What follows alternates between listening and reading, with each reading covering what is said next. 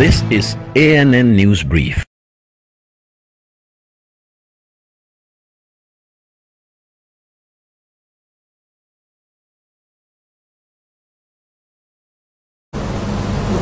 Good morning, I am Olajumoke Olatunji. Ivory Coast Health Ministry says on Tuesday almost 400 tons of fake medicines have been seized over two years in the main city Abidjan, known for counterfeit drug.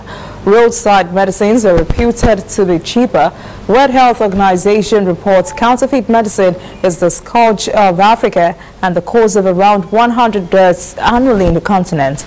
The Switzerland-based World Economic Forum estimates the illicit sector has a turnover of at least 10% of the world pharmaceutical business, meaning that it earns tens of billions of dollars a year.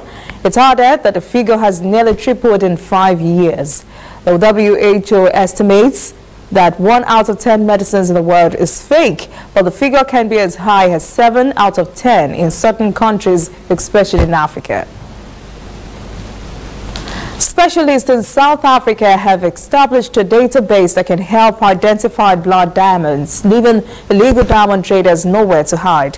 The Kimberley process was set up in 2000 to prevent so-called conflict diamonds from entering the market. A group of industry specialists have met in Johannesburg to look at the gains made in preventing the use of precious stones to fund conflicts. There are still parts of Africa that are mining conflict diamonds and attempting to integrate them into legitimate diamond streams. Speaking of their efforts to identify this conflict diamonds, Mark Van Bockstael, chairman of Kimberley Process Diamond Experts Working Group, said that technological tools are needed. What we are now especially working on, can we identify diamonds that are coming from the Central African Republic and uh, can we do that when they are basically sitting inside shipments from other participants? So we are trying actually to get all of the technological tools in line uh, to actually do that. We'll be back after this short break. Stay with us.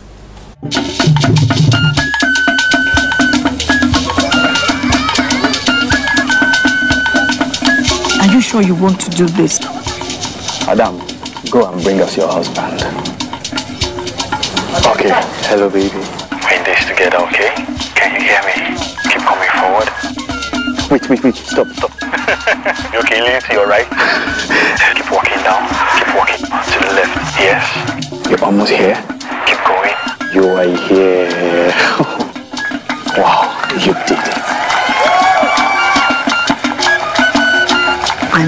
So glad I didn't have to use my cane to do this. And I am so glad no other man got you before me. Let me be your eyes. We will never stop working to give you a network you can rely on so you can enjoy life's special moments. MTN, everywhere you go.